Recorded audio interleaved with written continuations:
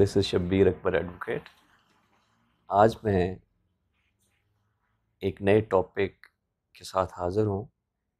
میں نے اپنے گزشتہ لیکچر میں essentials of a valid contract کے حوالے سے ایکسپلین کیا تھا۔ آج میں آپ کو essentials of a valid contract کا پہلا اسینشل جو کہ ایک آفر یا پرپوزل ہے، اس حوالے سے لیکچر ڈلیور کروں گا۔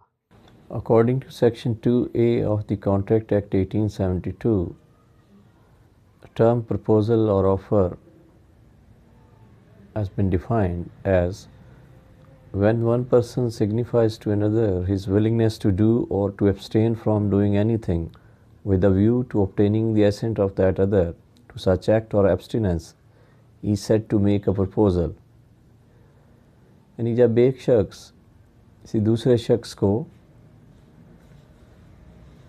اپنی ولنگنیس ظاہر کرے کسی کام کے کرنے کے حوالے سے یا کوئی کام کرنے سے رک جانے کے حوالے سے اور اس نیت سے کہ وہ دوسرا شخص اس حوالے سے اپنی رضامندی کا اظہار کر دے، تو ایسا ایکٹ یا ایبسٹیننس کے حوالے سے اب ایک شخص کسی دوسرے شخص کو اپنی ولنگنیس ظاہر کرے کسی کام کے کرنے سے یا اس کام سے رک جانے سے اور اس ویو کے ساتھ کہ وہ اس ایکٹ یا ایبسٹیننٹس کے حوالے سے اپنی ایسنٹ یا رضامندی دے دے، تو اسے پرپوزل کہا جاتا ہے۔ مثلا، اگر اے بی کو کہتا ہے کہ تم میری کار ایک لاکھ روپے کے عوض خریدو گے، سو اس مثال میں اے جو ہے وہ بی کو ایک آفر یا پرپوزل میک کر رہا ہے. اے آفرر اور بی آفری ہے.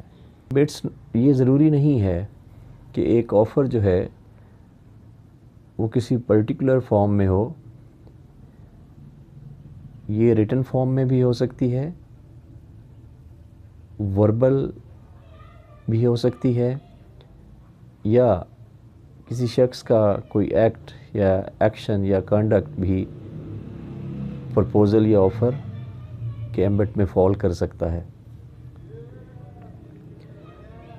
The person who makes an offer is called offerer اور promisor and the person to whom the offer is made is called the offeree اور پرومسی جو شخص پرپوزل یا آفر میک کرتا ہے اسے آفرر پرومسر کہتے ہیں. اور جس شخص کو آفر میک کی جاتی ہے، اسے آفری یا پرومسی کہتے ہیں۔ When an offer is accepted it becomes a promise اب ایک ویلڈ ہونے کے لیے اس کے کوئی ضرور، کچھ ضروری اجزاء ہیں ایلیمنٹس ہیں، جن کی ایبسنس میں آفر یا پرپوزل ویلڈ نہیں کہلائے گی۔ ایک آفر، اس کا آفری کو کمیونیکیٹ ہونا ضروری ہے۔ صرف کسی کام کو کرنے یا کسی کام کو کرنے سے رک جانے کی ڈیزائر یا ویلنگنس ایک ویلڈ آفر یا پرپوزل کانسٹیوٹ نہیں کرتی۔ ایک ویلڈ آفر یا پرپوزل میک کرنے کے لیے اس کا پراپرلی آفری کو کمیونیکیٹ کرنا ضروری ہے۔ Terms of the offer must be clear and definite offer یا پرپوزل کی ٹرمز کلیئر ڈیفینیٹ اور سرٹن ہونی چاہیے تاکہ آفری ان کو اچھی طرح سمجھتے ہوئے اپنی ایسنٹ یا ایکسیپٹنس سگنیفائی کر سکے۔ اب ایک آفر جس کی ٹرم کلیئر نہ ہو، تو وہ ایک ویلڈ آفر نہیں کہلائے گی۔ اور اسی طرح اس کے لیے ایک ویلڈ ایکسیپٹنس سگنیفائی نہیں کی جا سکتی۔ مثلا A offers B to sell oil worth rupees two thousand This is not a valid offer since kind of oil and specific quantity is not mentioned. A اگر بی کو دو ہزار روپے مالیت کا آئل آفر کرتا ہے، لیکن اس آئل کی قسم اور کوانٹٹی مینشن نہیں کرتا، تو یہ ایک ویلڈ آفر نہیں کہلائے گی کیونکہ اس آفر کی ٹرمز کلیئر ڈیفینیٹ اور سرٹن نہیں ہیں۔ اسی طرح ایک ویلڈ پرپوزل یا آفر کے لیے یہ ضروری ہے کہ offerer intention to create legal relationship کے تحت وہ آفر یا پرپوزل میک کر رہا ہو۔ اگر آفرر یا پرپوزر کی نیت انٹینشن ایک لیگل ریلیشن شپ کریٹ نہیں کرنا کرنا نہیں ہے، تو وہ ایک ویلڈ آفر نہیں کہلائے گی۔ مثلا اگر اے اپنے دوست بی کو ڈنر پہ انوائٹ کرتا ہے اور مقررہ وقت پہ وہ ریسٹورانٹ میں نہیں پہنچتا،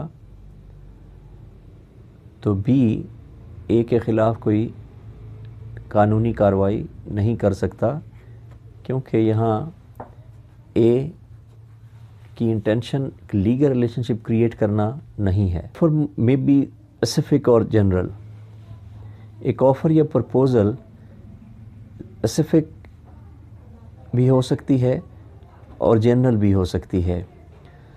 اسپیسفک آفر سے مراد ایک ایسی آفر یا پرپوزل ہے جو کہ کسی خاص شخص یا اشخاص کو میک کی جائے۔ اب اس میں وہ خاص شخص یا اشخاص اس کو ایکسیپٹ کر لیں تو ایک ویلڈ کانٹریکٹ فارم ہوتا ہے۔ جبکہ ایک جنرل آفر یہ پبلک ایٹ لارج یا ہول ورلڈ کو میک کی جا سکتی ہے۔ اور اب پبلک ایٹ لارج میں سے کوئی شخص اگر اس کو اس کی ٹرمز کے مطابق ایکسیپٹ کر لے، تو یہ ایک ویلڈ کانٹریکٹ فارم کر دے گی۔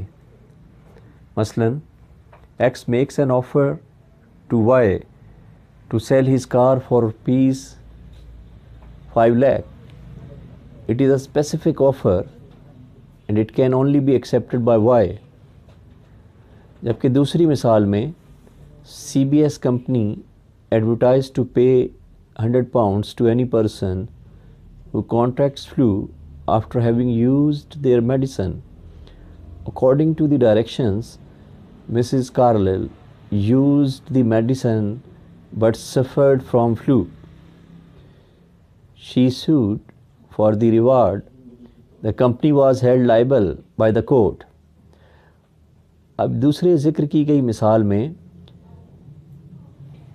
کاربولک سموک بال کمپنی نے ایڈورٹائز کیا کہ ان کی میڈیسن جو شخص بھی گیون انسٹرکشنز کے مطابق استعمال کرے گا، اسے فلو نہیں ہوگا۔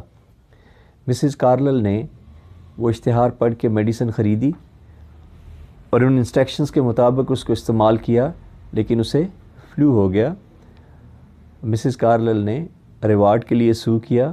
کورٹ نے اس کے حق میں فیصلہ دیا تو یہ اگزامپل ایک جنرل آفر یا پرپوزل کے حوالے سے دی جاتی ہے proposal to be a valid should not contain negative conditions an offer can not say that if acceptance is not communicated up to a certain date the offer would be presume to have been accepted if the offeree doesn't reply, there is no contract because no obligation to reply can be imposed on him under the law. Agar ek offerer offer make کرتے ہوئے یہ شرط رکھے اس proposal کی acceptance کو ایک certain دیکھ تک اسے کمیونیکیٹ نہ کیا گیا تو یہ سمجھا جائے گا کہ آفری نے اس پرپوزل کو یا آفر کو ایکسیپٹ کر لیا ہے اب یہ ایک نیگیٹو کنڈیشن میں فال کرتا ہے اور انڈر دی لا یہ پرپوزل یا آفر ویلڈ آفر یا پرپوزل نہیں کہلائے گی اور اس سے کسی طرح کا بھی ایک ویلڈ کانٹریکٹ فارم نہیں ہوگا۔ An offer may be subject to any conditions offeror proposal یا آفر میں کوئی بھی لافل پرمیسیبل اور لیگل کنڈیشنز شامل کر سکتا ہے۔ اب آفری کے لیے لازم ہے کہ وہ اس پرپوزل یا آفر کو ان تمام شرائط کے ساتھ ایکسیپٹ کریں۔ اگر آفری اس پرپوزل میں دی گئی کسی شرط پر عمل نہ کرے تو وہ اس کے پارٹ پہ ویلڈ ایکسیپٹنس نہیں کہلائے گی۔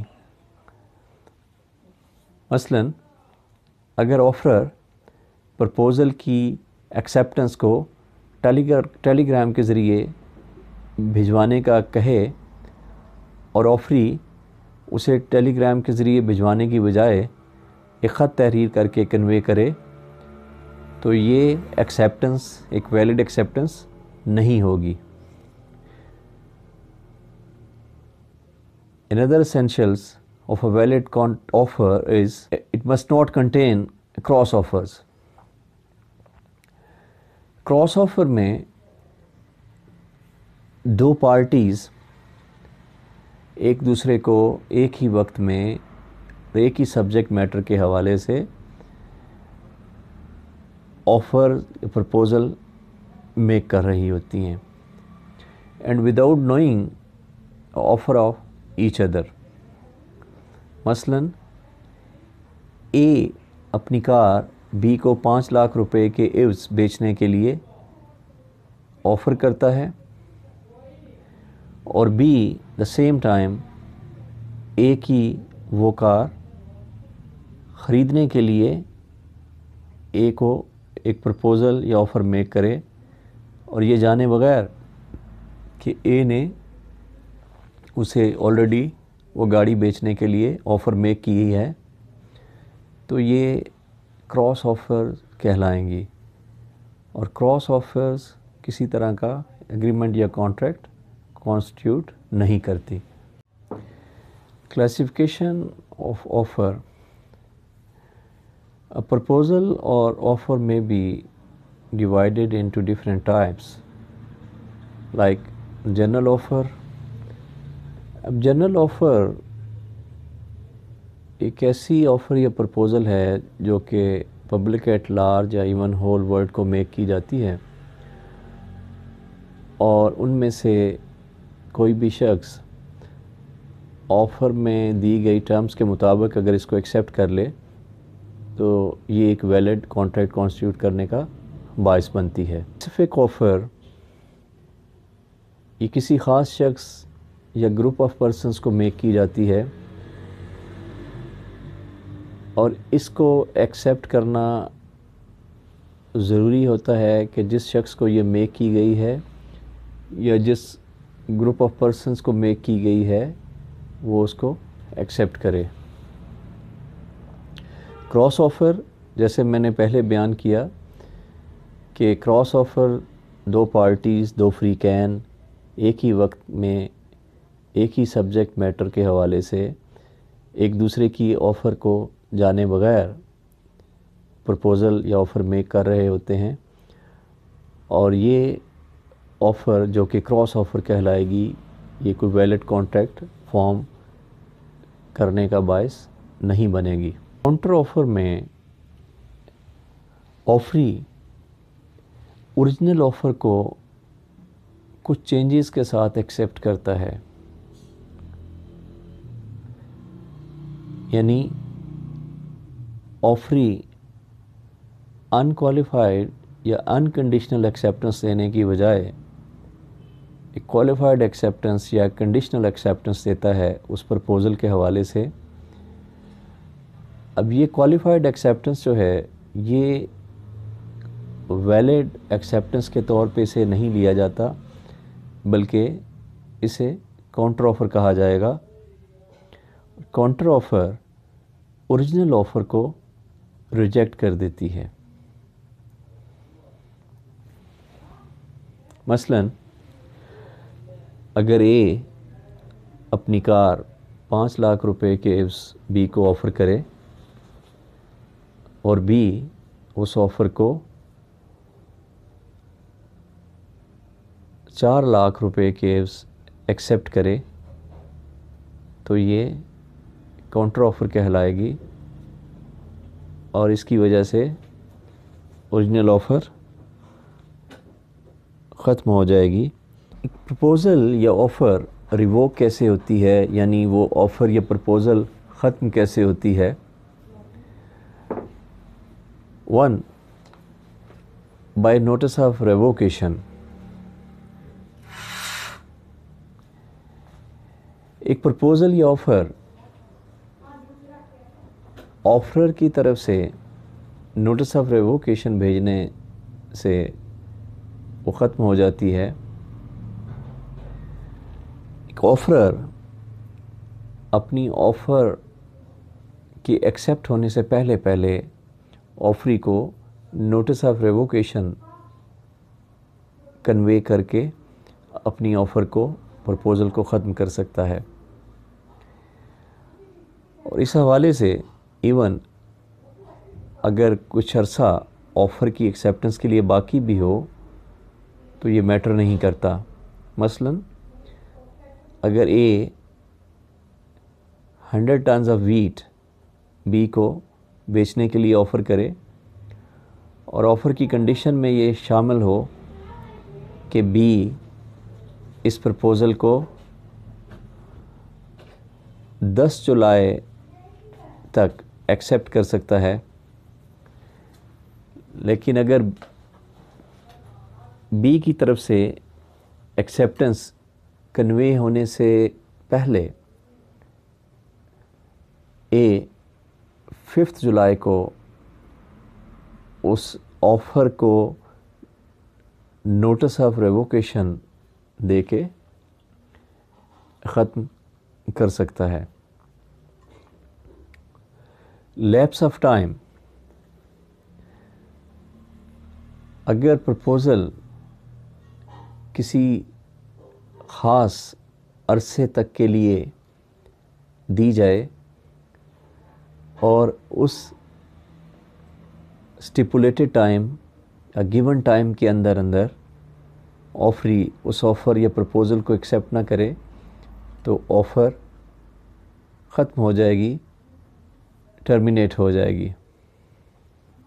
اور اگر پرپوزل یا آفر کی ایکسیپٹنس کے لیے کوئی وقت، معین یا اسٹیپولیٹ نہ کیا گیا ہو، تو ایک ریزنیبل ٹائم گزرنے کے بعد وہ آفر یا پرپوزل لیپس ہو جائے گی۔ اب ریزنیبل ٹائم یہ ڈپینڈ کرتا ہے کسی پرٹیکولر کیس کی نوعیت پہ۔ مثلا، اگر پرپوزل یا آفر پیرشیبل گوڈس کے حوالے سے میک کی جائے، تو اس پرپوزل یا آفر کو ان گوڈس کے پیرش ہونا، ہونے سے پہلے پہلے ایکسیپٹ کرنا ضروری ہے۔ Failure to fulfil the conditions اگر آفری پرپوزل یا آفر میں دی گئی کنڈیشنز کو پورا نہ کرے تو وہ آفر ختم ہو جائے گی۔ یعنی اگر آفرر پرپوزل یا آفر میں کچھ کنڈیشنز رکھے جن کو ایکسیپٹ کرنا، فلفل کرنا آفری کے لیے ضروری ہو اور آفری ان کنڈیشنز کو فلفل نہ کرے تو وہ آفر ختم ہو جائے گی مثلا if A offers to sell his car to B for rupees fifty thousand if B gets A grade in final exams, B fails to get a grade, the offer comes to an end. Death or insanity of the offerer and or the offeree. ایک offer یا proposal اس وقت بھی ختم ہو جائے گی جب ایک آفری اس کی ایکسیپٹنس سے پہلے پہلے وفات پا جائے یا انسین ہو جائے۔ Rejection of offer by the offeree اگر آفری آفر کو ریجیکٹ کر دے، اس کو ایکسیپٹ کرنے سے انکار کر دے تو اس سے بھی آفر ٹرم ٹرمینیٹ ہو جاتی ہے، ختم ہو جاتی ہے۔ Counter offer by the offeree اگر آفری آفر یا پرپوزل کو ایز اٹ از ایکسیپٹ کرنے کی بجائے اس میں کوئی تبدیلی کر دے اور اس تبدیلی کے ساتھ اس کو ایکسیپٹ کرے، تو یہ کانٹر آفر کہلائے گی۔ اسے ایک ویلڈ ایکسیپٹنس نہیں کہا جائے گا۔ جس کی وجہ سے اوریجنل آفر ختم ہو جائے گی۔ سبسیکوینٹ انلیگیلٹی اگر ایک پرپوزل یا آفر اس کی میکنگ کے بعد اللیگل ہو جائے یعنی اگر اے بی کو ہنڈریڈ بیگز آف ویٹ بیچنے کے لیے آفر کرے اور اس آفر کی ایکسیپٹنس سے پہلے اگر گورنمنٹ ویٹ کی سیلنگ پہ بین امپوز کر دے، تو یہ آفر ٹرمینیٹ ہو جائے گی، ختم ہو جائے گی، کیونکہ اس میں سبسیکوینٹ لیگیلٹی کا ایلیمنٹ آ جائے گا۔ ڈسٹرکشن آف سبجیکٹ میٹر ایک پرپوزل یا آفر اس وقت بھی ختم ہو جاتی ہے جب اس پرپوزل یا آفر کا سبجیکٹ میٹر ڈسٹروائے ہو جائے، اس کا وجود باقی نہ رہے۔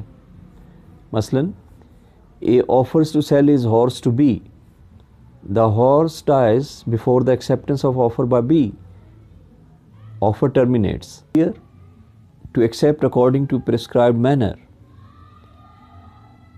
اگر آفرر آفر کی ایکسیپٹنس کے حوالے سے کوئی خاص مینر پریسکرائب کرے اور آفری اس پریسکرائبڈ مینر کے مطابق آفر کو ایکسیپٹ نہ کرے تو اس سے بھی آفر ٹرمینیٹ ہو جائے گی۔